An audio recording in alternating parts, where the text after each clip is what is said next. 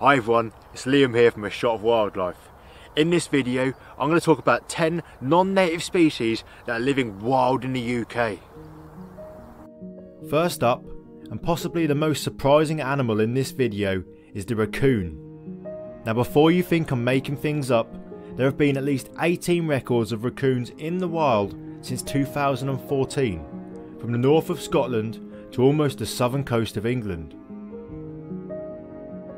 These are probably escape pets or deliberate releases, but as raccoons can survive in our climate and have already colonised much of mainland Europe, this North American native has the potential to become a real issue if they become established here. They're intelligent opportunists and will eat everything from human scraps to birds, amphibians and small mammals.